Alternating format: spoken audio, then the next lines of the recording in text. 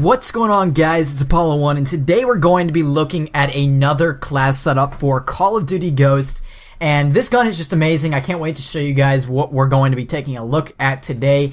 Um, this gun is is like the ACR of Modern Warfare 3. If you're still trying to find that gun that just pretty much works in all gunfights, it's very very accurate, that has a good damage rate, it's very mo mobile, and is just overall a really good gun then this is the gun for you. Um, this is a very, very, very effective gun when going for K.E.M. strikes. Um, I can guarantee you guys will see an increase in your gameplay if you use this gun, and I'll give you a few tips on um, how to use this gun in the situations you should put yourself when using this gun and the gunfights that you should uh, look to get in when using this gun. So let's go ahead and start this class setup. Now, we're going to be looking at the Remington R5. And this is like the ACR of Call of Duty Ghosts from Modern Warfare 3. And uh, as you can see, it's a fully automatic, high damage output and range combined with a reduced fire rate for stability. And um, you can see that without the uh, the attachments, the accuracy is already very, very good. The damage is incredible. The range is incredible. The fire rate is a little bit low, but still very good. And the mobility is very good. And just compared to some of the other assault rifles, as you can see, uh, it's very good. Like this one, the FAD damage is not too good. Uh, just the Remington overall, like it averages out a very good um, range of stats for the gun, the weapon stats. And um, as you can see, it's just it's a very good gun. So let's go ahead and see what I have on it. Now I decided to use the red dot sight. As you can see, uh, the range does go down a little bit. Don't ask me why. That's actually kind of weird. I don't understand. Um, now you can actually put this is something that I, I suggest. You can you can take the uh, the red dot sight off, and you can also try using the muzzle brake, which obviously makes the range just incredible. The reason why I have the red dot sight on there is the iron sights. They're okay. They're they're not too bad. Um, they kind of look like the ACR, but they're a little bulky, and I am not too much of a fan of them. I don't like it personally, but if you um, play with it and you do fine, then definitely put the muzzle brake on. But for my uh, class setup, we're going to be using the red dot sight. Now, for my second attachment, I have the silencer and the silencer doesn't take off any damage whatsoever. And just because the game's starting out new here, and a lot of people using SATCOMs, it's very, very good to use a silencer to stay off the radar so you can go behind enemy lines and flank them, because that's a very good way to play the Call of Duty Ghosts game, um, because in this game you do die very fast. So if you're able to flank behind them and take them out from behind without yourself getting shot at by multiple enemies, then you're going to do well just in general. If you stay to the edges of the map and play passively, you play smart, and you check your corners, you check your area around you, and you just play kind of slow. And every time you go into an open area, you kind of check the surroundings. Uh, then you'll do well. And having a silencer to pick off enemies, they're not going to have a clue where you're coming from. So it's a very good attachment for this gun. I re- I just really like it on this gun. Now I don't have a secondary. I just don't think it's necessary. Um, my lethal, I don't have a lethal. I just honestly, when I play, you don't really need to use lethal. This doesn't do much. You can use a canister bomb for, you know, maybe clearing out a, a house or uh, a little uh, pathway or something if you'd like. And then a tactical, you can throw a tactical on. Personally, I think the perks, having an extra perk is much better.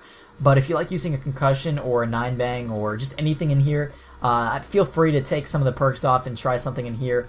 But uh, personally, I think this class setup you guys will just do really well with all these perks because as you can see, um, we're going to be using 12 perks. You're going to have 12 different perks if you get your specialist bonus, so uh, very powerful. But anyways, guys, the perks that I'm using, I have five perks on to start with. Ready Up because it makes your gun um, come up after sprinting, which is just necessary in this game because you die so fast. So having your gun on target as fast as possible, you'll be able to take out the enemy fairly fast. Um, agility, and you don't really need to use this. Actually, um, you could even try to put on um, marathon to run around faster because the maps are very large. So between this and agility, uh, that's what I would use. Um, really, this is up to you. You can even use dead silence if you'd like. You could use, uh, I mean, even this. I don't know. It's really up to you guys. Uh, but personally, I'm going to be using agility because I like to be able to move around a little bit faster. You kind of feel more free. You don't feel like a slug running through the map very slowly.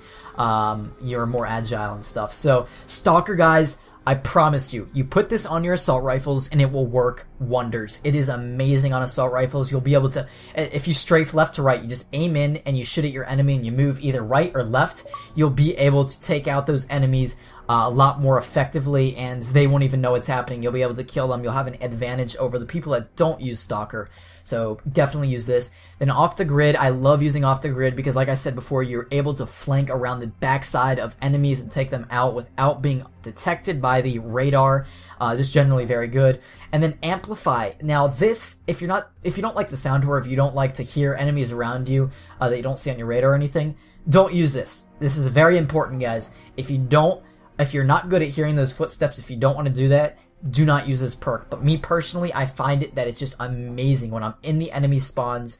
No one knows where I am because I have a silencer and off the grid, and then I can hear the enemy's footsteps around me. I kind of have an idea of where enemies are coming from, just from even like 15, 20 yards away from me. It's very, very effective. Highly recommend it.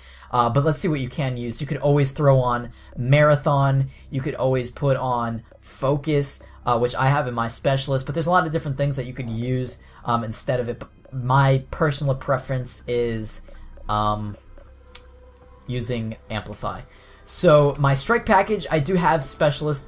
If you don't want to go for K.E.M. strikes really, and you just want to use support, that's fine. I would highly recommend using Satcom, probably Ballistic Vest, and uh, Oracle for yourself. It's kind of running support for yourself. It will. This is the best class setup if you want to go for K.E.M. strikes uh, with support. This is what you want to do. The SATCOM will help you just generally know where the enemies are. Ballistic vests keep you from dying so fast, and then the Oracle just is very good. It's like a kind of like an orbital VSAT. It shoots a ping out, and you can see where enemies are through walls and stuff.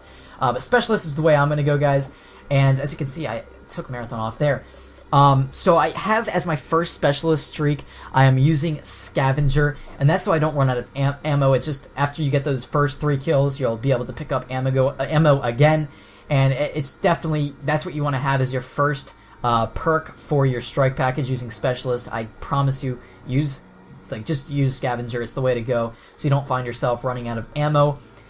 And you only need to get three kills in a row to get it, so it's very, very effective. And then your second perk is going to be Sleight of Hand. I just need to have sleight of hand and when you're coming in encounters with multiple enemies it's very good to have. Then marathon with the maps being so big in call of duty Ghosts, marathon is very effective to be able to move around the map um, without it's it's infinite sprint it's infinite. You don't stop running you can run forever. So if there's a big patch of land that you have to get through uh, in the middle of the map or something then you'll be able to run straight through it and you won't have to like you know whenever you run out of sprint you kind of stop and you move very slow. Uh, that will prevent you from getting in those sticky situations and then for my specialist bonus, I am using um, on the go, which allows you to run whilst reloading, which is just very effective if you're trying to move away. It just makes you feel very fast when you're moving.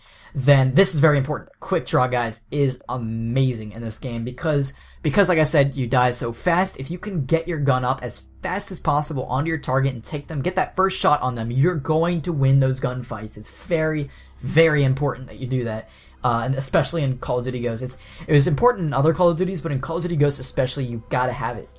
And then I have focus on. This reduces flinch when getting shot at, so you won't flinch and get off target when you're shooting at someone. You'll still be accurate.